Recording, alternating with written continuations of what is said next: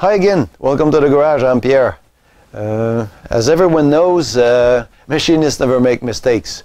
Uh, if ever one day we do something we're not too proud of, like I was drilling this little cylindrical part, uh, going a little bit too far with the drill bit and uh, when I phased the end I realized I had a hole in it. So to keep the reputation intact, I had to make this hole disappear in a uh, permanent, rapid and invisible way. If you bear with me a minute or two for a few announcements I have to make, uh, we'll go to the lathe and I'll show you how I keep the reputation intact. Yesterday, Philippe and I went to the post office. We mailed the first batch of uh, orders we got for the What's in Your Box hammers. Uh, we really want to thank you guys for the uh, overwhelming response we had for the uh, for the, the, the cause and uh, just helping us by uh, you know buying uh, buying a few hammers.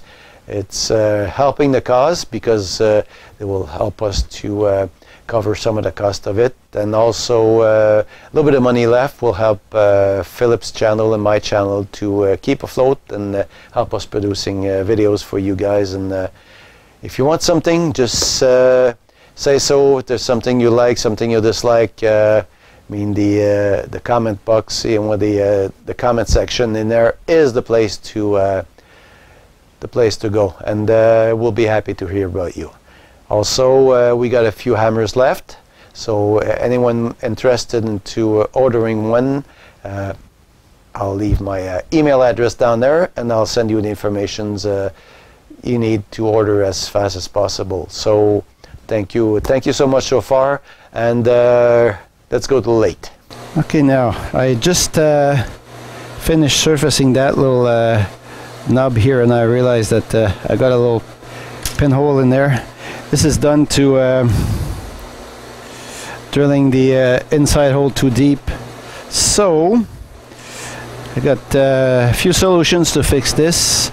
The one I uh, retained is uh, I'm going to center drill this little bit, make this uh, make a clean entry for a drill after. Not very much bigger than this, that'll be more than sufficient.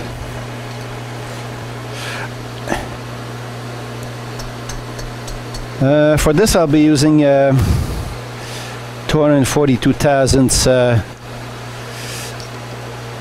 drill bit to eventually insert the um, little piece of one quarter of an inch uh, stainless steel rod here. Same uh, same material as the uh, base material. So let me just uh, drill this. I'm gonna drill about uh, maybe a little bit 200 thousandths or uh, that should be plenty enough.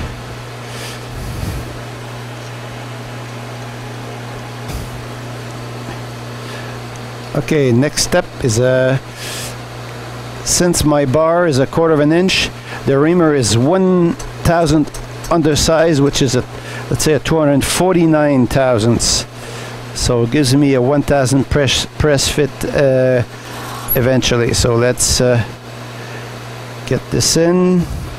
Let's not push too far in there. And next step. Okay, I made sure the end was uh, the end was pretty well deburred. Made just a little chamfer with the, uh, the grinding stone, and uh, this is going to be pushed in. Okay, I'll be using the tailstock. Chuck, lock my tailstock, and uh, it's loose in there it will start turning as soon as it touches. And I'm using the tailstock to just uh, pressure it in. I feel pretty much pressure in there. That's uh, that's a good sign that not that not coming off to uh, finish up the job now. I'll be using a little parting blade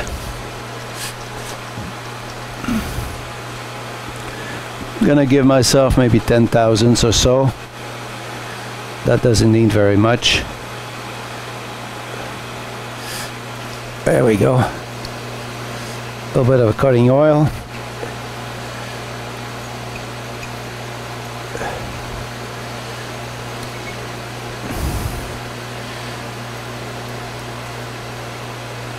This is clean. Okay, let's finish this up now. Best way I find is to uh, get rid of the most of the the bulk of the material without doing the finishing pass right away.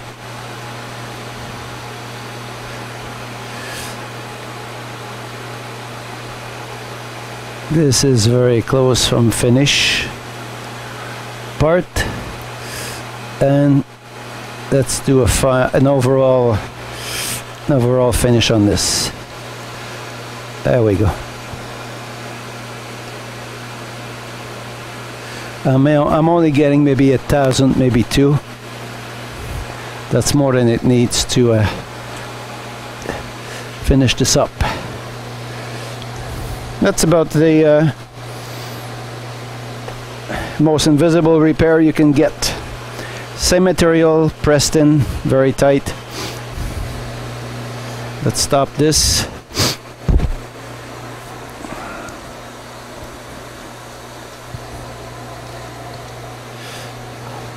I'll give you a closer, uh, whoops, the other way.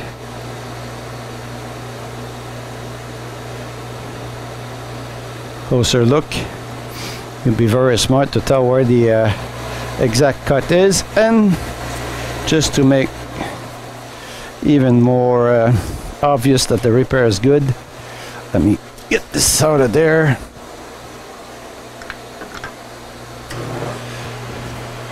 Let's do a little polishing on this.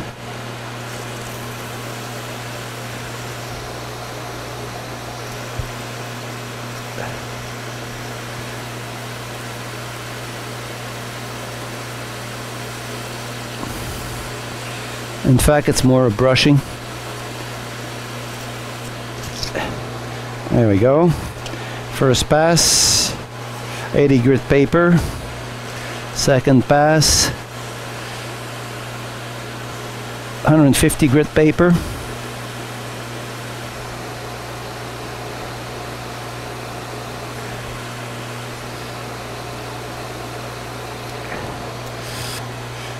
And last part, 220 grit paper even it's pretty worn up but it'll even give a finer finish oops that's coming back towards the center